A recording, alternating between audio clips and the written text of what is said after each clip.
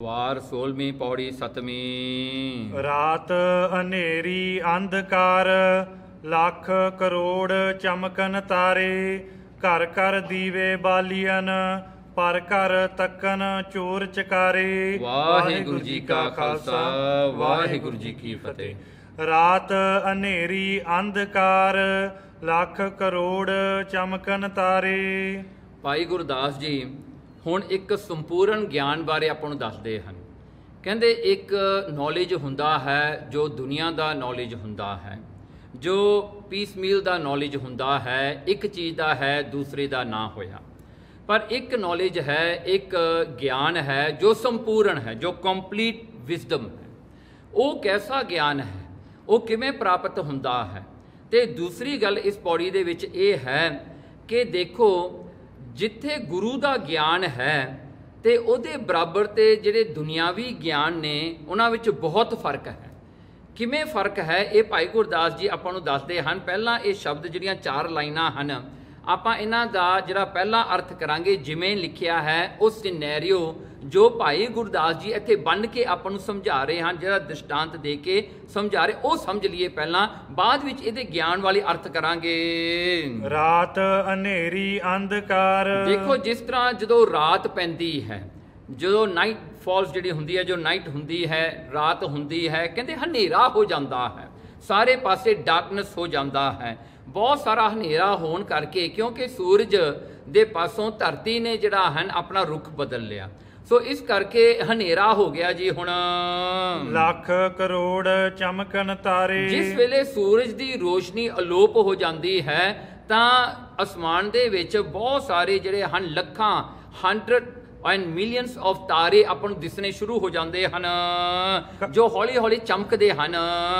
ਘਰ ਘਰ ਦੀਵੇ ਬਾਲੀਅਨ ਹੁਣ ਲੋਕ ਕੀ ਕਰਦੇ ਨੇ ਜਦੋਂ ਰਾਤ ਪੈ ਜਾਂਦੀ ਹੈ ਆਪਣੇ ਘਰ ਵਿੱਚ ਉਹ ਜਿਹੜੇ ਹਨ ਲੈਂਪ ਜਿਹੜੇ ਹੁੰਦੇ ਹਨ ਉਹ ਜਿਹੜੇ ਹਨ ਦੀਵੇ ਜਿਹੜੇ ਹੁੰਦੇ ਨੇ ਅੱਜ ਕੱਲ ਆਪਾਂ ਲਾਈਟਸ ਲੈ ਲਈਏ। ਆਪਾਂ ਜਿਹੜੀਆਂ ਹਨ ਬੱਤੀਆਂ ਜਗਾ ਲੈਂਦੇ ਹਾਂ ਲਾਈਟ ਜਗਾ ਲੈਂਦੇ ਹਾਂ। ਪਰ ਘਰ ਤੱਕਨ ਚੋਰ ਚਕਾਰੇ। ਤੇ ਰਾਤ ਦੇ ਵੇਲੇ ਹੀ ਉਹ ਜਿਹੜੇ ਚੋਰ ਹੁੰਦੇ ਨੇ, ਸੋ ਚੋਰ ਜਿਹੜੇ ਹਨ, ਚੋਰ ਲੋਕ, ਉਹ ਜਿਹੜਾ ਹਨ, ਮੌਕਾ ਲੱਭਦੇ ਨੇ। ਕਿਉਂਕਿ ਘਰਾਂ ਵਿੱਚ ਲੋਕਾਂ ਨੇ ਦੀਵੇ ਬਾਲੇ, ਪਰ ਬਾਕੀ ਤਾਂ ਆਲੇ ਦੁਆਲੇ ਸਾਰਾ ਹਨੇਰਾ ਹੁੰਦਾ ਹੈ। ਉਹਨਾਂ ਨੇ ਇਹ ਹਨੇਰੇ ਦਾ ਲਾਹਾ ਉਠਾਉਂਦਿਆਂ ਹੋਇਆਂ ਚੋਰ ਚਾਕਰੇ ਜਿਹੜੇ ਹੁੰਦੇ ਨੇ ਉਹ ਰਾਤ ਨੂੰ ਨਿਕਲ ਪੈਂਦੇ ਨੇ ਵੀ ਅਸੀਂ ਜਾ ਕੇ ਚੋਰੀ ਕਰੀਏ। ਹੁਣ ਹਨੇਰਾ ਹੋ ਗਿਆ ਕਿਸੇ ਨੇ ਸਾਨੂੰ ਦੇਖਣਾ ਨਹੀਂ ਹੁਣੇ ਸਮਾਂ ਹੈ ਚੋਰੀ ਕਰਨ ਦਾ। ਹਟ ਪਟਨ ਘਰ ਬਾਰੀਆਂ। ਦੇਖੋ ਹੱਠ ਪਟਨ ਘਰ। ਜਿਹੜੇ ਸ਼ਹਿਰ ਦੀਆਂ ਜਿਹੜੀਆਂ ਹਨ ਗਲੀਆਂ ਦੇ ਵਿੱਚ ਜਿਹੜੇ ਸ਼ਾਪਸ ਬਣੇ ਹੁੰਦੇ ਨੇ ਜਿਹੜੀਆਂ ਦੁਕਾਨਾਂ ਬਣੀਆਂ ਹੁੰਦੀਆਂ ਨੇ ਜਿਹੜੇ ਘਰ ਹੁੰਦੇ ਨੇ ਲੋਕ ਕੀ ਕਰਦੇ ਨੇ ਰਾਤ ਵੇਲੇ ਦਰਵਾਜ਼ੇ ਬੰਦ ਕਰ ਲੈਂਦੇ ਨੇ ਲੌਕ ਕਰ ਲੈਂਦੇ ਨੇ ਵਿੰਡੋਜ਼ ਬੰਦ ਕਰ ਲੈਂਦੇ ਨੇ ਲੌਕ ਕਰ ਲੈਂਦੇ ਨੇ ਵੀ ਇਧਰ ਦੀ ਜਿਹੜਾ ਹਨ ਚੋਰ ਨਾ ਕਿਤੇ ਆ ਜਾਣ। ਸੋ ਦਰਵਾਜ਼ਿਆਂ ਨੂੰ ਚੰਗੀ ਤਰ੍ਹਾਂ ਜਿਹੜਾ ਹੈ ਜਿੰਦਰਾ ਮਾਰ ਕੇ ਉਹ ਘਰ ਦੇ ਅੰਦਰ ਬੈਠਦੇ ਹਨ। ਦੇ ਦੇ ਤਾਕ ਸਵਨ ਨਰ ਨਾਰੇ। ਦੇਖੋ ਉਹ ਜਿਹੜੀਆਂ ਹਨ ਫਿਰ ਉਹ ਦਰਵਾਜ਼ਿਆਂ ਨੂੰ ਉਹ ਵਿੰਡੋਜ਼ ਨੂੰ ਕੀ ਕਰਦੇ ਹਨ ਉਹਨਾਂ ਨੂੰ ਜਿਹੜੇ ਹਨ ਲੌਕ ਕਰਕੇ ਚੰਗੀ ਤਰ੍ਹਾਂ ਸਿਕਿਉਰ ਕਰਦੇ ਨੇ ਚੰਗੀ ਤਰ੍ਹਾਂ ਬੰਦ ਕਰਕੇ ਰੱਖਦੇ ਹਨ ਤੇ ਨਰ ਨਾਰੇ ਇਹ ਨਰ ਨਾਰੇ ਘਰ ਘਰ ਵਿੱਚ ਇਹੀ ਹਾਲ ਆ।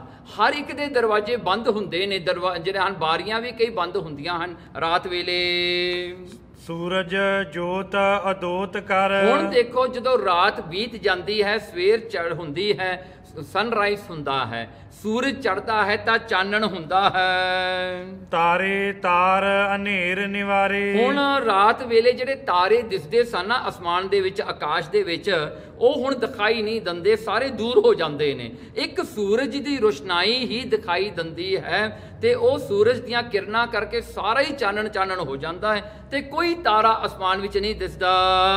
ਇਸੇ ਪ੍ਰਕਾਰ ਆਪਾਂ ਪਹਿਲੀ ਲਾਈਨ ਫੇਰ ਪੜ੍ਹੀਏ ਹੁਣ। ਰਾਤ ਹਨੇਰੀ ਅੰਧਕਾਰ। ਹੁਣ ਦੇਖੋ ਰਾਤ ਹਨੇਰੀ ਅੰਧਕਾਰ। ਹੁਣ ਇਹ ਕਲਯੁਗ ਦਾ ਸਮਾਂ ਇੱਕ ਕਾਲੀ ਰਾਤ ਹੈ। ਕਹਿੰਦੇ ਇਹਦੇ ਵਿੱਚ ਅੰਧਕਾਰ ਹੈ ਕਿਉਂਕਿ ਗੁਰੂ ਰੂਪੀ ਸੂਰਜ ਜੇ ਨਾ ਹੋਵੇ ਨਾ ਤਾਂ ਕਹਿੰਦੇ ਕਲਯੁਗ ਇੱਕ ਐਸਾ ਸਮਾਂ ਜਿੱਥੇ ਹਨੇਰਾ ਹੀ ਹਨੇਰਾ ਹੈ ਕੋਈ ਵੀ ਰਾਹ ਦਿਖਾਉਣ ਵਾਲਾ ਨਹੀਂ ਹੈਗਾ। ਲੱਖ ਕਰੋੜ ਚਮਕਨ ਤਾਰੇ। ਹੁਣ ਰਾਤ ਵੇਲੇ ਜਿਵੇਂ ਅਸਮਾਨ ਦੇ ਵਿੱਚ ਆਪਾਂ ਨੂੰ ਤਾਰੇ ਦਿਖਾਈ ਦਿੰਦੇ ਨੇ ਆਪਾਂ ਨੂੰ ਕੋਈ ਚੰ드ਰਮਾ ਦਿਖਾਈ ਦਿੰਦਾ ਉਹ ਵੀ ਜਿਹੜਾ ਹੈ 15 ਦਿਨ ਚੜਦਾ 15 ਦਿਨ ਜਿਹੜਾ ਛਿਪਦਾ ਹੀ ਹੁੰਦਾ ਹੈ। ਸੋ ਉਹਦੀ ਵੀ ਜਿਹੜੀ ਹਨ ਉਹ ਵੀ ਬਦਲਦਾ ਹੈ। ਪੂਰਨਮਾਸ਼ੀ ਨੂੰ ਫੁੱਲ ਹੋ ਜਾਂਦਾ ਹੈ ਮਸਿਆ ਵੇਲੇ ਜ਼ੀਰੋ ਹੋ ਜਾਂਦਾ ਹੈ। ਸੋ ਇਉਂ ਕਰਕੇ ਜਿਹੜਾ ਹੈ, ਕਹਿੰਦੇ ਲੱਖਾਂ ਹੀ ਜਿਹੜੇ ਹਨ, ਜਿਵੇਂ ਤਾਰੇ ਹੁੰਦੇ ਆ ਨਾ, ਇਸੇ ਪ੍ਰਕਾਰ ਕਰਕੇ ਜਦੋਂ ਸੂਰਜ ਨਹੀਂ ਹੁੰਦਾ ਨਾ, ਹਨੇਰਾ ਹੋ ਜਾਂਦਾ ਹੈ, ਪਖੰਡੀ ਲੋਕ ਹਿਪੋਕ੍ਰੇਟ ਲੋਕ ਆਪਣੇ ਆਪ ਨੂੰ ਗੁਰੂ ਅਖਵਾਉਣਾ ਸ਼ੁਰੂ ਕਰ ਦਿੰਦੇ, ਬਾਬੇ ਬਣ ਕੇ ਬਹਿ ਜਾਂਦੇ ਨੇ, ਕੋਈ ਪੀਰ ਬਣ ਜਾਂਦਾ ਹੈ, ਕੋਈ ਸਾਧੂ ਬਣ ਜਾਂਦਾ ਹੈ, ਉਹ ਆਪਣਾ ਆਪਣਾ ਗਿਆਨ ਲੋਕਾਂ ਨੂੰ ਦਿੰਦੇ ਨੇ, ਪਰ ਉਹ ਗਿਆਨ ਇੰਨਾ ਛੋਟਾ ਹੁੰਦਾ ਹੈ, ਜਿਸ ਅਸਮਾਨ ਵਿੱਚ ਇੱਕ ਤਾਰਾ ਚਮਕਦਾ ਹੁੰਦਾ ਹੈ। ਕਹਿੰਦੇ ਇਸੇ ਜਿਹੜਾ ਹੈ, ਇਹ ਛੋਟੇ ਛੋਟੇ ਜਿਹੜੇ ਹਨ ਤਾਰੇ, ਬਹੁਤ ਸਾਰੇ ਦਿਖਾਈ ਦਿੰਦੇ ਨੇ। ਸੋ ਥੱਲੇ ਖੜਾ ਬੰਦਾ ਜਦੋਂ ਅਸਮਾਨ ਵੱਲ ਦੇਖਦਾ, ਕਹਿੰਦਾ, ਆਹ ਤਾਰਾ ਜ਼ਿਆਦਾ ਚਮਕਦਾ, ਇਹ ਘੱਟ ਚਮਕਦਾ ਇਹ ਤਾਰਾ ਇਉਂ ਆ ਇਹ ਤਾਰਾ ਇਉਂ ਹੈ। ਜਿਵੇਂ ਅੱਜ ਕੱਲ ਵੀ ਆਪਣਾ ਇਹੀ ਹਾਲ ਹੈ। ਦੁਨੀਆ ਦੇ ਵਿੱਚ ਆਪਾਂ ਕਹਿੰਦੇ, ਭਾਈ, ਇਹ ਪੀਰ ਚੰਗਾ ਹੈ, ਇਹ ਸਾਧੂ ਚੰਗਾ ਹੈ, ਇਹ ਮਾੜਾ ਹੈ ਜੀ, ਇਹ ਨਹੀਂ ਚੰਗਾ, ਇਹ ਠੱਗ ਆ ਜੀ, ਇਹ ਆ। ਦੇਖੋ, ਆਪਣ ਕੋ ਕਿੰਨੇ ਹੀ ਲੋਕ ਹਨ ਜੋ ਆਪਣੇ ਡੇਰੇ ਖੋਲ ਕੇ ਬੈਠੇ ਨੇ, ਜੋ ਪੀਰ ਬਣ ਕੇ ਬੈਠੇ ਨੇ, ਕਬਰਾਂ ਨੂੰ ਪੂਜਣ ਵਾਲੇ ਬੈਠੇ ਨੇ ਕੋਈ ਮੜੀਆਂ ਨੂੰ ਪੂਜਦਾ ਹੈ ਕੋਈ ਜਿਹੜਾ ਬੁੱਤਾਂ ਨੂੰ ਪੂਜਦਾ ਹੈ ਕਿੰਨੇ ਹੀ ਬੈਠੇ ਨੇ ਆਪਣੀਆਂ ਦੁਕਾਨਾਂ ਖੋਲ ਕੇ। ਇਹ ਸਾਰੀ ਤਾਰੇ ਹਨ ਇਸ ਕਲਯੁਗੀ ਰਾਤ ਦੇ ਵਿੱਚ।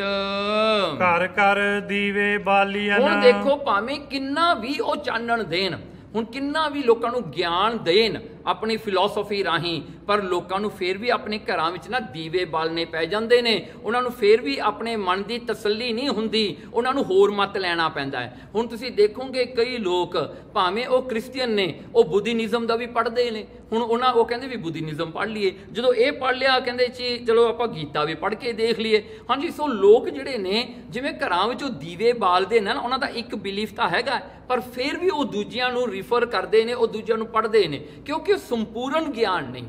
ਉਹ ਕੰਪਲੀਟ ਨੌਲੇਜ ਕੰਪਲੀਟ ਵਿਜ਼ਡਮ ਨਹੀਂ ਹੈ। ਉਹਦੇ ਲਈ ਫਿਰ ਜਿਹੜਾ ਹਨ ਸੈਕੰਡਰੀ ਜਿਹੜਾ ਰੀਡਿੰਗ ਦੀ ਲੋੜ ਪੈਂਦੀ ਹੈ। ਪਰ ਘਰ ਤੱਕਨ ਚੋਰ ਤੇ ਚਕਾਰੇ ਦੇਖੋ ਇਹੀ ਸਮਾਂ ਹੈ ਜਿਹੜੇ ਹਿਪੋਕ੍ਰਿਟ ਪਖੰਡੀ ਲੋਕ ਹੁੰਦੇ ਨੇ ਲੋਕਾਂ ਨੂੰ ਫਿਰ ਠੱਗਣਾ ਸ਼ੁਰੂ ਕਰ ਦਿੰਦੇ ਨੇ। ਉਹ ਆ ਕੇ ਲੋਕਾਂ ਨੂੰ ਭਰਮਾਂ ਵਿੱਚ ਪਾਉਂਦੇ ਨੇ। ਆ ਕੇ ਜਿਵੇਂ ਚੋਰ ਚਾਕਰੇ ਰਾਤ ਨੂੰ ਚੋਰੀ ਕਰਦੇ ਨੇ ਨਾ ਇਹ ਬੰਦੇ ਆ ਕੇ ਲੋਕਾਂ ਨੂੰ ਭਰਮਾਂ ਵਿੱਚ ਪਾ ਕੇ ਕਹਿੰਦੇ ਤੈਨੂੰ ਇਹ ਕਰਨਾ ਪੈਣਾ ਹੈ ਤਾਂ ਤੇਰਾ ਇਹ ਹੋਏਗਾ। ਇਹ ਤੇਰਾ ਬੁਰਾ ਇਸ ਕਰਕੇ ਹੋ ਰਿਹਾ ਤੂੰ ਇਹ ਨਹੀਂ ਕੀਤਾ ਤੂੰ ਉਹ ਨਹੀਂ ਕੀਤਾ। ਲੋਕਾਂ ਨੂੰ ਪਖੰਡ ਰਿਚੁਅਲਿਸਟਿਕ ਦੇ ਵਿੱਚ ਉਹ ਫਸਾ ਲੈਂਦੇ ਹਨ। ਹੱਟ ਪਟਨ ਘਰ ਬਾਰੀਆਂ। ਹੁਣ ਦੇਖੋ ਜਿਵੇਂ ਰਾਤ ਦੇ ਹਨੇਰੇ ਵਿੱਚ ਲੋਕੀ ਆਪਣੇ ਬੂਹੇ ਬਾਰੀਆਂ ਬੰਦ ਕਰਕੇ ਰੱਖਦੇ ਡਰ ਲੱਗਦਾ ਹੈ ਵੀ ਇਹੀ ਸਮਾਂ ਚੋਰ ਆ ਜਾਣਗੇ। ਕਹਿੰਦੇ ਇਸੇ ਕਰਕੇ ਬੰਦਾ ਕਿਤੇ ਵੀ ਆਪਣੇ ਆਪ ਨੂੰ ਸਿਕਿਉਰ ਮਹਿਸੂਸ ਨਹੀਂ ਕਰਦਾ ਜਦੋਂ ਉਹਦਾ ਨੌਲੇਜ ਉਹਦਾ ਗੁਰੂ ਅਧੂਰਾ ਹੋਵੇ। ਜਦੋਂ ਗੁਰੂ ਅਧੂਰਾ ਹੋਵੇ ਨਾ ਉਹਦਾ ਪੀਰ ਜਿਹੜਾ ਹੈ ਇਨਕੈਪੇਬਲ ਹੋਵੇ ਤਾਂ ਉਹ ਜਿਹੜੇ ਸੇਵਕ ਹੁੰਦੇ ਨੇ ਚੇਲੇ ਹੁੰਦੇ ਉਹਨਾਂ ਨੂੰ ਹਮੇਸ਼ਾ ਲੱਗੀ ਰਹਿੰਦੀ ਹੈ ਕਿਤੇ ਇਹ ਨਾ ਹੋ ਜਾਵੇ। ਜੇ ਇਹਨੇ ਮੇਰੇ ਮੇਰੇ ਵਾਸਤੇ ਇਹ ਨਾ ਕੀਤਾ ਤਾਂ ਇਹ ਨਹੀਂ ਹੋਣਾ। ਇਹਨੇ ਇਹ ਨਹੀਂ ਕੀਤਾ ਤਾਂ ਉਹ ਨਾ ਹੋ ਜਾਵੇ। ਸੋ ਲੋਕਾਂ ਨੂੰ ਇਨਸਿਕਿਉਰਿਟੀ ਹਮੇਸ਼ਾ ਫੀਲ ਹੁੰਦੀ ਹੈ, ਕਿਉਂਕਿ ਗੁਰੂ ਸੰਪੂਰਨ ਨਹੀਂ। ਇਸੇ ਕਰਕੇ ਤਾਂ ਆਪਾਂ ਜਿਹੜੀ ਸਾਖੀ ਅੱਗੇ ਵਿਚਾਰੀ ਹੈ, ਲੱਲਾ ਬੇਗ ਨੇ ਜਦੋਂ ਭਾਈ ਜੇਤੇ ਜੀ ਦਾ ਸਿਰ ਲਾਇਆ ਸੀ ਨਾ, ਜੰਗ ਦੇ ਵਿੱਚ, ਗੁਰਸਰ ਦੇ ਵਿੱਚ, ਤਾਂ ਉਹਨੇ ਕੀ ਦੇਖਿਆ? ਭਾਈ ਜੇਤਾ ਜੀ ਦਾ ਸਰੀਰ ਤੋਂ ਜਿਹੜਾ ਸੀਸ ਤਾਂ ਉਹਨੇ ਕੱਟ ਦਿੱਤਾ। ਪਰ ਕਹਿੰਦੇ ਭਾਈ ਜੇਤਾ ਜੀ ਦੇ ਰੋਮ ਰੋਮ ਦੇ ਵਿੱਚੋਂ ਵਾਹਿਗੁਰੂ ਦੀ ਆਵਾਜ਼ ਉਹਨੇ ਸੁਣੀ। ਲੱਲਾ ਬੇਗ ਨੇ ਆਪ ਦੇਖਿਆ ਪਾਲਕੀਆਂ ਆਈਆਂ। ਸਤਕਾਰ ਨਾਲ ਭਾਈ ਜੇਤਾ ਜੀ ਨੂੰ ਜਿਹੜਾ ਬਿਠਾ ਕੇ ਬੜਾ ਲ- ਜਿਹੜੇ ਹਨ, ਉਹ ਦੇਵਤੇ ਵੀ ਆ ਕੇ ਮੱਥਾ ਟੇਕਦੇ ਹਨ, ਫੁੱਲਾਂ ਦੀ ਵਰਖਾ ਕਰਦੇ। ਸਾਰਾ ਲੱਲਾ ਬੇਗ ਨੇ ਆਪ ਦੇਖਿਆ ਰਣ ਭੂਮੀ ਵਿੱਚ ਖੜਿਆ ਨੇ। ਉਹਦੇ ਮਨ ਵਿੱਚ ਇਹ ਸ਼ਰਧਾ ਆਈ, ਕਹਿੰਦੇ, ਦੇਖ ਭਾਈ, ਕਹਿੰਦਾ, ਮੈਂ ਤਾਂ ਹਾਂ, ਕਹਿੰਦਾ, ਮੈਂ ਜਨਰਲ ਬਣ ਕੇ ਆਇਆ, ਮੈਂ ਆਪਣਾ ਮੇਰਾ ਧਰਮ ਹੈ ਗੁਰੂ ਹਰਗੋਬਿੰਦ ਸਾਹਿਬ ਤੇ ਅਟੈਕ ਕਰਨਾ। ਇਹ ਮੇਰਾ ਧਰਮ ਹੈ, ਮੈਂ ਧਰਮ ਛੱਡ ਕੇ ਨਹੀਂ ਜਾ ਸਕਦਾ। ਪਰ ਉਹਨੇ ਆਪਣੇ, ਜਿਹੜਾ ਹੁਣ ਖੁਦਾ ਅੱਗੇ ਅਰਦਾਸ ਕੀਤੀ, ਕਹਿੰਦਾ, ਹੇ ਖੁਦਾ, ਅੱਜ ਮੈਂ ਤੇਰੇ ਨਾਲ ਲੜਨ ਵਾਸਤੇ ਆਇਆ ਹਾਂ। ਮੈਂ ਤੂੰ ਮੇਰੇ ਸਾਹਮਣੇ ਖੜਾ ਹਾਂ। ਗੁਰੂ ਹਰਗੋਬਿੰਦ ਸਾਹਿਬ ਨੂੰ ਉਹਨੇ ਖੁਦਾ ਕਰਕੇ ਦੇਖਿਆ। ਕਹਿੰਦਾ, ਇਹ ਮੇਰਾ ਅੱਲਾ ਹੈ। ਕਹਿੰਦਾ, ਮੈਂ ਤੇਰੇ ਸਾਹਮਣੇ ਖੜਾ ਕਿਉਂਕਿ ਦੇਖ ਤੂੰ ਪੂਰਾ ਹੈ, ਪਰ ਮੈਂ, ਮੇਰੇ ਵਿੱਚ ਉਹ ਗੁਣ ਨਹੀਂ ਜਿਹਦੇ ਕਰਕੇ ਮੈਨੂੰ ਮੁਕਤੀ ਮਿਲ ਸਕੇ। ਪਰ ਕਹਿੰਦੇ, ਹੇ ਮੇਰੇ ਖੁਦਾ, ਅੱਜ ਮੈਂ ਤੇਰੇ ਨਾਲ ਲੜਨ ਆਇਆ ਨਾ, ਮੈਂ ਜੇ ਆਪਣੀ ਭਗਤੀ ਕਰਕੇ ਤਰ ਨਹੀਂ ਨਾ ਸਕਦਾ, ਤੇਰੀ ਤਲਵਾਰ ਦੇ ਵਾਰ ਦੇ ਨਾਲ ਤਾਂ ਮੈਂ ਜ਼ਰੂਰ ਤਰ ਜਾਵਾਂਗਾ। ਮੈਂ ਤੇਰੇ ਹੱਥੀਂ ਮਰਨਾ ਹੈ ਅੱਜ। ਮੈਂ ਤੇਰੇ ਹੱਥੀਂ ਸ਼ਹੀਦ ਹੋਵਾਂਗਾ ਇੱਥੇ। ਸੱਚਮੁੱਚ ਗੁਰੂ ਹਰਗੋਬਿੰਦ ਸਾਹਿਬ ਨੇ ਜਿਹੜਾ ਹਨ ਰਣ ਭੂਮੀ ਵਿੱਚ ਆ ਕੇ ਤੇ ਉਹਦੇ ਉੱਤੇ ਤਲਵਾਰ ਚਲਾਈ, ਤਿੰਨ ਵਾਰ ਉਹਨੂੰ ਚੰਸਾਂ ਦਿੱਤੀਆਂ। ਗੁਰੂ ਹਰਗੋਬਿੰਦ ਸਾਹਿਬ ਨੇ ਉਹਦੇ ਵਾਰ ਰੋਕੇ ਚੌਥਾ ਵਾਰ ਗੁਰੂ ਹਰਗੋਬਿੰਦ ਸਾਹਿਬ ਨੇ ਜੋ ਕੀਤਾ, ਉਹਨੂੰ ਵੱਢ ਕੇ ਦੋ ਟੋਟੇ ਕਰਕੇ ਛੱਡ ਦਿੱਤਾ ਤੇ ਲੱਲਾ ਬੇਗ ਦੇ ਸਰੀਰ ਦੇ ਵਿੱਚੋਂ ਇੱਕ ਹੋਰ ਸਰੀਰ ਨਿਕਲਦਾ ਹੈ, ਜਿਹੜਾ ਕਿ ਉਹਦੇ ਬੰਦਿਆਂ ਨੇ ਵੀ ਦੇਖਿਆ, ਖੜਿਆਂ ਨੇ ਆ ਕੇ ਗੁਰੂ ਹਰਗੋਬਿੰਦ ਸਾਹਿਬ ਨੂੰ ਮੱਥਾ ਟੇਕਿਆ ਤੇ ਉਹਨੂੰ ਵੀ ਪਾਲਕੀਆਂ ਲੈ ਕੇ ਗਈਆਂ। ਸੋ ਦੇਖੋ, ਗੁਰੂ ਤਾਂ ਐਸਾ ਹੈ। ਕਹਿੰਦੇ, ਪਰ ਜਿਹੜੇ ਲੋਕ ਹੁੰਦੇ ਨੇ ਨਾ, ਜਿਹੜੇ ਪਖੰਡੀ ਲੋਕ ਹੁੰਦੇ ਨੇ ਇੱਕ ਜਿਹੜੀ ਸਿਕਿਉਰਿਟੀ ਜਿਹੜੀ ਚੀਜ਼ ਆ ਨਾ ਉਹ ਕੋਈ ਨਹੀਂ ਦੇ ਸਕਦਾ ਗੁਰੂ ਨਾਨਕ ਤੋਂ ਬਗੈਰ। ਪੂਰਾ ਗੁਰੂ ਹੀ ਇਹ ਦੇ ਸਕਦਾ ਹੈ। ਦੇ ਦੇ ਤਾਕ ਸਵਨ ਨਰ ਨਾਰੇ। ਦੇਖੋ ਹਮੇਸ਼ਾ ਡਰ ਰਹਿੰਦਾ ਬੰਦਿਆਂ ਨੂੰ ਕਿਤੇ ਮੈਂ ਗਲਤ ਨਾ ਹੋਵਾਂ ਮੈਂ ਇਹਦੇ ਪਿੱਛੇ ਲੱਗ ਗਿਆ ਇਹ ਮੈਨੂੰ ਕਹਿੰਦਾ ਇਉਂ ਕਰ ਲਾ। ਕੀ ਸੱਚ ਮੈਂ ਇਉਂ ਕਰ ਲਵਾਂ? ਕਿਤੇ ਗਲਤ ਤਾਂ ਨਹੀਂ ਹੋਵੇਗਾ? ਦੇਖ, ਜਿਹੜਾ ਜਿਹੜਾ ਇਹ ਗੱਲ ਹੁੰਦੀ ਹੈ ਨਾ, ਜਿਹੜੇ ਡਾਊਟਸ ਉੱਠਣੇ ਨੇ, ਜਿਹੜੇ ਅੰਦਰੋਂ ਜਿਹੜੇ ਹਨ, ਭਰਮ ਉੱਠਣਾ ਹੈ, ਜਾਂ ਅੰਦਰੋਂ ਜਿਹੜਾ ਇਹ ਆਵਾਜ਼ ਆਉਣੀ ਵੀ ਪਤਾ ਨਹੀਂ ਇਹ ਠੀਕ ਕਹਿ ਰਿਹਾ ਕਿ ਗਲਤ ਕਹਿ ਰਿਹਾ ਹੈ। ਹੁਣ ਇਹ ਚੀਜ਼ ਜਿਹੜੀ ਹੈ ਨਾ, ਇਸ ਕਰਕੇ ਲੋਕ ਕੀ ਕਰਦੇ ਨੇ? ਢੀਠ ਬਣ ਜਾਂਦੇ ਨੇ। ਉਹ ਕਹਿੰਦੇ, ਚਲੋ ਮੈਂ ਮੰਨ ਲਿਆ, ਸੋ ਮੰਨ ਲਿਆ। ਉਹ ਫਿਰ ਆਪਣੇ ਆਪ ਨੂੰ ਬੰਦ ਕਰ ਲੈਂਦੇ ਨੇ, ਜਿਵੇਂ ਬਾਰੀਆਂ ਨੂੰ ਜਿੰਦੇ ਲਾਈਦੇ ਆ ਨਾ, ਉਹ ਆਪਣੇ ਆਪ ਨੂੰ ਬੰਦ ਕਰਕੇ ਬਹਿ ਜਾਂਦੇ ਚਲੋ ਮੈਂ ਮੰਨ ਲਿਆ ਜੋ ਮੰਨ ਲਿਆ, ਬਸ। ਮੈਂ ਇਹੀ ਫੋਲੋ ਕਰਨਾ ਸੋ ਉਹ ਵੀ ਲੋਕ ਇਹੋ ਜਿਹੇ ਢੀਠ ਬਣ ਜਾਂਦੇ ਨੇ। ਫਿਰ ਉਹ ਕਿਸੇ ਦੀ ਗੱਲ ਸੁਣਦੇ ਹੀ ਕੋਈ ਨਹੀਂ ਹੈਗੇ। ਕਹਿੰਦੇ ਦੇਖੋ ਹੁਣ ਗਿਆਨ ਤਾਂ ਨਹੀਂ ਹੈਗਾ ਪਰ ਢੀਠ ਬਣੇ ਕਰਕੇ ਉਹਨਾਂ ਨੇ ਆਪਣੇ ਆਪ ਨੂੰ ਬੰਦ ਕਰ ਲਿਆ। ਸੋ ਇਸ ਪ੍ਰਕਾਰ ਅੱਗੇ ਕੀ ਹੁੰਦਾ ਹੈ? ਸੂਰਜ ਜੋਤ ਉਦੋਤ ਕਰ। ਪਰ ਜਦੋਂ ਦੇਖੋ ਗੁਰੂ ਨਾਨਕ ਸੱਚੇ ਪਾਤਸ਼ਾਹ ਆਪ ਗੁਰੂ ਪਰਮੇਸ਼ਰ ਆਪ ਪਰਮੇਸ਼ਰ ਗੁਰੂ ਨਾਨਕ ਆਪ ਕਲਾਤਾਰ ਜਗ ਮੈਂ ਪਰਵਰਿਓ ਸੋ ਆਪ ਨਰਾਇਣ ਕਲਾਤਾਰ ਸੋ ਆਪ ਨਰਾਇਣ ਆਪ ਪਰਮੇਸ਼ਰ ਜੋ ਗੁਰੂ ਨਾਨਕ ਬਣ ਕੇ ਆਇਆ ਉਹ ਸੂਰਜ ਚੜਿਆ ਦੁਨੀਆ ਦੇ ਵਿੱਚ। ਉਹ ਸੂਰਜ ਨੇ ਆ ਕੇ ਜਦੋਂ ਆਪਣਾ ਗਿਆਨ ਦਾ ਚਾਨਣ ਦਿੱਤਾ। ਤਾਰੇ ਤਾਰ ਹਨੇਰ ਨਿਵਾਰੇ। ਸਾਰੇ ਤਾਰੇ ਜਿਹੜੇ ਸਨ ਚਿਮਚਿਮ ਕਰਦੇ ਆਕਾਸ਼ ਵਿੱਚ ਉਹ ਸਾਰੇ ਅਲੋਪ ਹੋ ਗਏ। ਉਹ ਨਹੀਂ ਰਹਿ ਗਏ ਹੁਣ ਉਹ ਦੂਰ ਹੋ ਗਏ ਸਾਰੇ ਭੱਜ ਗਏ। ਬੰਧਨ ਮੁਕਤ ਕਰਾਇਂਦਾ ਦੇਖੋ ਗੁਰੂ ਕੀ ਕਰਦਾ ਹੈ ਕਹਿੰਦੇ ਬੰਧਨਾਂ ਤੋਂ ਮੁਕਤ ਕਰਾ ਦਿੰਦਾ ਹੈ। ਜਿਹੜੇ ਬੰਧਨ ਪਏ ਆ ਨਾ ਆਪਾਂ ਨੂੰ ਕਰਮਾਂ ਦੇ। ਹੁਣ ਇੱਕ ਪ੍ਰਾਲਬੱਧ ਕਰਮ ਹਨ ਜਿਹੜਾ ਤੋਂ ਆਪਾਂ ਨਹੀਂ ਛੁੱਟਦੇ। ਜਿਹੜੇ ਕਰਮ ਆਪਾਂ ਲੈ ਕੇ ਇਹ ਜੀਵਨ ਵਿੱਚ ਆਏ ਆ ਉਹ ਭੋਗਣੇ ਪੈਣੇ ਹਨ। ਸੋ ਕਹਿੰਦੇ ਉਹ ਬੰਧਨਾਂ ਵਿੱਚ ਜਿਹੜੇ ਆਪਾਂ ਫਸੇ ਹੋਏ ਆ ਹਨਾ ਉਹਨਾਂ ਤੋਂ ਤਾਂ ਗੁਰੂ ਹੀ ਛਡਾ ਸਕਦਾ ਹੈ। ਹੋਰ ਕਿਤੋਂ ਨਹੀਂ ਆਪਾਂ ਛੁੱਟ ਸਕਦੇ। ਨਾਮ ਦਾਨ ਇਸਨਾਨ ਵਿਚਾਰੇ। ਦੇਖੋ ਗੁਰੂ ਕਿਵੇਂ ਛਡਾਉਂਦਾ ਹੈ? ਕਿ ਨਾਮ ਦਾਨ ਇਸ਼ਨਾਨ ਇਹ ਤਿੰਨ ਹਨ। ਸੋ ਇਹ ਜਿਹੜੇ ਹਨ ਪੁਰਾਤਨ, ਜਿੰਨੇ ਵੀ ਗ੍ਰੰਥ ਹਨ, ਬਾਣੀ ਨੂੰ ਲੈ ਲਓ, ਭਾਈ ਗੁਰਦਾਸ ਦੀਆਂ ਵਾਰਾਂ ਨੂੰ ਲੈ ਲਓ, ਹੋਰ ਵੀ ਜਿੰਨੇ ਧਰਮ ਗ੍ਰੰਥ ਨੇ, ਇਹ ਸਾਰੇ ਨਾਮ, ਦਾਨ, ਇਸ਼ਨਾਨ ਦੀ ਉਹ ਗੱਲ ਕਰਦੇ ਨੇ। ਪਰ ਅੱਜ ਕੱਲ ਜਿਹੜਾ ਆਉਂਦਾ ਹੈ ਨਾ, ਆਪਾਂ ਕਹਿੰਦੇ ਹਾਂ, ਨਾਮ ਜਪਣਾ, ਵੰਡ ਛਕਣਾ, ਹਾਂਜੀ, ਸੋ ਉਹ ਜਿਹੜਾ ਹੈ, ਕਿਰਤ ਕਰਨੀ, ਇਹ ਤਿੰਨ ਚੀਜ਼ਾਂ ਜਿਹੜੀਆਂ ਆਪਾਂ ਮੰਨਦੇ, ਇਹ ਇਸ, ਇਹਦਾ ਹੀ ਜਿਹੜਾ ਹੈ, ਇੱਕ ਉਹਨਾਂ ਨੇ ਮੀਨਿੰਗ ਕੱਢਿਆ ਹੋਇਆ ਪਰ ਉਹਦਾ ਮੂਲ ਪ੍ਰਿੰਸੀਪਲ ਕੀ ਹੈ ਨਾਮ, ਦਾਨ, ਇਸ਼ਨਾਨ। ਇਹੀ ਹੈ, ਇਹੀ ਆਉਂਦਾ ਸੋ ਨਾਮ ਜਪਣਾ, ਵੰਡ ਛਕਣਾ, ਕਿਰਤ ਕਰਨੀ, ਇਹ ਕਿਤੇ ਨਹੀਂ ਲਿਖਿਆ ਹੋਇਆ। ਇਹ ਤਾਂ ਬਾਅਦ ਵਿੱਚ ਇਹ ਆਇਆ ਮੇਰੇ ਖਿਆਲ। ਇਹਦਾ ਜਿਹੜਾ ਆਪਾਂ ਲੈ ਲਈਏ ਵੀ ਇਹਦਾ ਮੀਨਿੰਗ ਹੈ। ਪਰ ਦੇਖੋ, ਨਾਮ ਦਾਨ ਕਰਨਾ, ਨਾਮ ਜਪਣਾ, ਦਾਨ ਕਰਨਾ, ਆਪਣੇ ਮਨ ਜਿਹਨੇ ਆਪਣੇ ਸਰੀਰ ਦੀ ਸਫ਼ਾਈ ਰੱਖਣੀ ਇਹੀ ਤਾਂ ਗੁਰੂ ਦਾ ਪ੍ਰਚਾਰ ਗੁਰੂ ਨੇ ਮਹਾਰਾਜ ਨੇ ਆਪਣਾ ਜੀਵਨ ਸਵਾਰਿਆ ਹੈ। ਆਪਣੇ ਜੀਵਨ ਦੇ ਵਿੱਚ ਕੁਝ ਮੀਨਿੰਗ ਪਾਇਆ ਹੈ ਕੁਝ ਮਤਲਬ ਪਾਇਆ ਹੈ ਇਸ ਜੀਵਨ ਦਾ। ਗੁਰਮੁਖ ਸੁਖ ਫਲ ਸਾਧ ਸੰਗ। ਗੁਰਮੁਖਾਂ ਨੇ ਉਹ ਪਰਮੇਸ਼ਰ ਦਾ ਨਾਮ ਜੋ ਸੁੱਖਾਂ ਦਾ ਫਲ ਦੇਣ ਵਾਲਾ ਜੋ ਸੁੱਖਾਂ ਨੂੰ ਦੇਣ ਵਾਲੀ ਸਾਧ ਸੰਗਤ ਹੈ। ਪਸ਼ੂ ਪ੍ਰੇਤ ਪਤਿਤ ਨਿਸਤਾਰੇ। ਦੇਖੋ ਪਸ਼ੂ ਵੀ ਸਤਿਗੁਰਾਂ ਨੇ ਤਾਰ ਦਿੱਤੇ ਜਾਨਵਰਾਂ ਨੂੰ ਵੀ ਤਾਰ ਦਿੱਤਾ ਸਤਿਗੁਰਾਂ ਨੇ। ਜਦੋਂ ਮਹਾਰਾਜ ਜੀ ਹੰਟਿੰਗ ਕਰਿਆ ਕਰਦੇ ਸਨ ਗੁਰੂ ਹਰਗੋਬਿੰਦ ਸਾਹਿਬ ਸੱਚੇ ਪਾਤਸ਼ਾਹ ਜੋ ਜਾਇਆ ਕਰਦੇ ਸਨ ਜੋ ਵੀ ਉਹਨਾਂ ਦੇ ਜਿਹੜਾ ਹਨ ਜਿਨ੍ਹਾਂ ਨੂੰ ਮਹਾਰਾਜ ਨੇ ਮੁਕਤ ਕਰਨਾ ਸੀ ਨਾ, ਉਹਨਾਂ ਦੇ ਉੱਤੇ ਮਹਾਰਾਜ ਜੀ ਵਾਰ ਕਰਿਆ ਕਰਦੇ ਸਨ। ਉਹਨਾਂ ਨੂੰ ਪਸ਼ੂ ਜੂਨ ਚ ਪਿਆ ਹੋਇਆਂ ਨੂੰ ਵੀ ਤਾਰੀ ਜਾਂਦੇ ਸਨ ਸਤਿਗੁਰੂ ਜੀ। ਮਹਾਰਾਜ ਦੇ ਕਈ ਪਿਛਲੇ ਸਿੱਖ ਹੋਇਆ ਕਰਦੇ ਸਨ, ਜਿਨ੍ਹਾਂ ਦੇ ਵਿੱਚ ਭਰਮ ਪੈਣ ਕਰਕੇ ਉਹਨਾਂ ਦਾ ਜਿਹੜਾ ਹਨ ਕਲਿਆਣ ਨਹੀਂ ਹੋਈ, ਉਹਨਾਂ ਨੂੰ ਵੀ ਮਹਾਰਾਜ ਨੇ ਜਾ ਕੇ ਤਾਰਿਆ। ਸੋ ਗੁਰੂ ਗੋਬਿੰਦ ਸਿੰਘ ਮਹਾਰਾਜ ਨੇ ਵੀ ਜਾ ਕੇ ਕ- ਤਾਰ- ਤਾਰਿਆ। ਸੋ ਇਸ ਪ੍ਰਕਾਰ ਦੇਖੋ ਗੁਰੂ ਮਹਾਰਾਜ ਜੀ ਪਸ਼ੂਆਂ ਨੂੰ ਵੀ ਤਾਰਨ ਵਾਲੇ ਹਨ।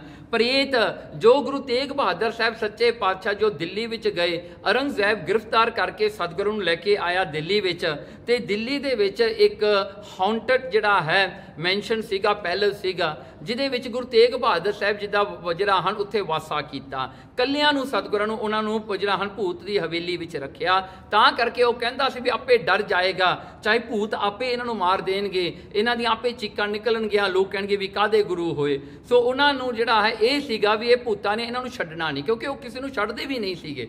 ਸੋ ਪਰ ਜਦੋਂ ਗੁਰੂ ਤੇਗ ਬਹਾਦਰ ਸਾਹਿਬ ਸੱਚੇ ਪਾਤਸ਼ਾਹ ਜੀ ਉਸ ਹਵੇਲੀ ਵਿੱਚ ਬੈਠੇ ਜੋ ਸਿੱਖ ਮਹਾਰਾਜ ਨਾਲ ਗਏ ਸਨ, ਉਹ ਬਾਹਰ ਬੈਠੇ ਸਨ। ਮਹਾਰਾਜ ਇਕੱਲੇ ਉਹ ਹਵੇਲੀ ਦੇ ਵਿੱਚ ਸਨ। ਭੂਤ ਆਏ, ਉਹਨਾਂ ਨੇ ਬੜਾ ਆਪਣਾ ਜਿਹੜਾ ਹਾਵ ਦਾਵ ਦਿਖਾਇਆ।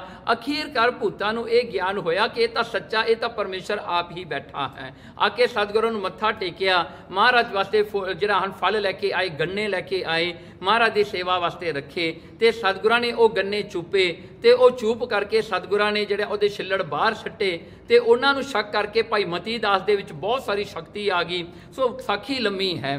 ਸੋ ਪਰ ਉਹ ਜਿਹੜੇ ਹਨ ਪ੍ਰੇਤ ਵੀ ਸਤਿਗੁਰਾਂ ਨੂੰ ਮੱਥਾ ਟੇਕ ਕੇ ਸਤਿਗੁਰਾਂ ਨੇ ਉਹਨਾਂ ਨੂੰ ਵੀ ਤਾਰ ਦਿੱਤਾ। ਸੋ ਪਸ਼ੂ ਪ੍ਰੇਤ ਪਤਤ ਜਿਹੜੇ ਪਾਪੀ ਲੋਕ ਹਨ ਜਿਨ੍ਹਾਂ ਨੇ ਕਿਤੇ ਵੀ ਕੋਈ ਭਲਾ ਕੰਮ ਨਹੀਂ ਕੀਤਾ ਜਿਹੜੇ ਹਮੇਸ਼ਾ ਬੁਰਾ ਕਰਨ ਵਾਲੇ ਸਨ ਲੋਕਾਂ ਨੂੰ ਮਾਰਨ ਵਾਲੇ ਸੱਜਣ ਠੱਗ ਵਰਗਿਆਂ ਨੂੰ ਵੀ ਸਤਿਗੁਰਾਂ ਨੇ ਤਾਰ ਦਿੱਤਾ।